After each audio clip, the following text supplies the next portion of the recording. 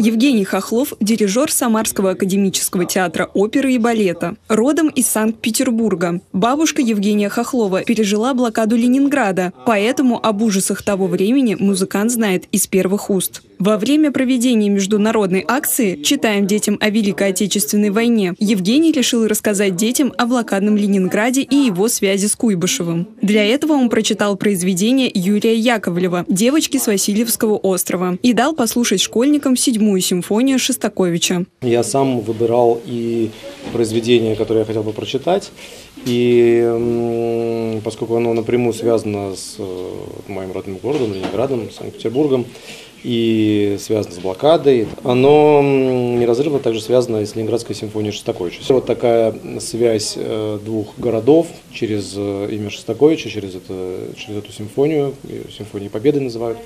Вот. Она такая очень сильная, и мне показалось, что детям Детям важно э, знать о таких э, каких-то пересечениях.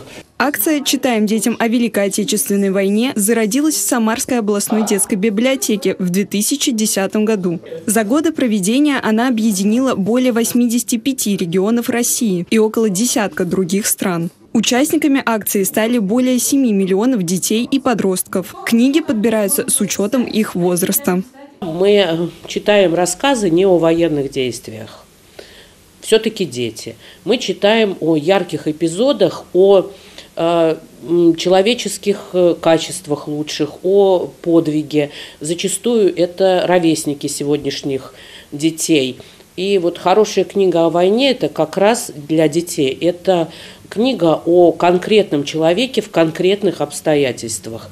Основная идея акции – живое чтение вслух и обсуждение произведений с детьми. Для этого приглашают почетных чтецов, известных жителей Самарской области, ветеранов и детей войны. Книги о войне детям читали режиссер драматического театра «Грань» Денис Бакурадзе и космонавт Олег Каноненко. В этом году были приглашены дирижер Евгений Хохлов, Юлия Николаева, уполномоченный по правам ребенка в Самарской области, и Константин Доладов, председатель Совета отцов при уполномоченном по правам ребенка. Елизавета Прокопенкова, Игорь Казановский. События.